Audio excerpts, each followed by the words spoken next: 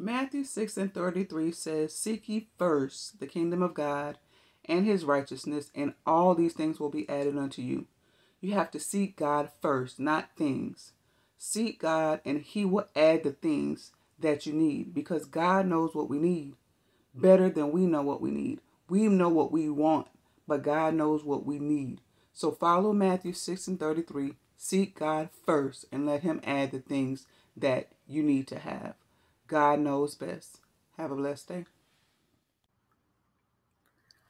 Always remember, God loves you best because God is love. God is love.